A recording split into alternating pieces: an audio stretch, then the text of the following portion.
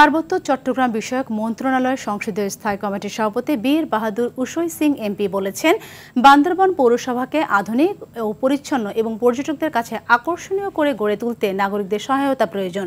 সকালে বান্দরবন পৌরসভা কার্যালয়ের সরঞ্জাম বিতরণ ও মত বিনিময় সভায় একথা বলেন তিনি। শিয়া বাটার ও ভিটামিন ই সমৃদ্ধ Lily glam beauty soap. Lily always beautiful এছাড়া বান্দরবান পৌর শহরকে পরিচ্ছন্ন রাখতে three wheeler garbage van garbage rickshaw van পুষ্কার dustbin সহ দুর্যোগ মোকাবেলায় সাতটি নৌকা বিতরণ করেন।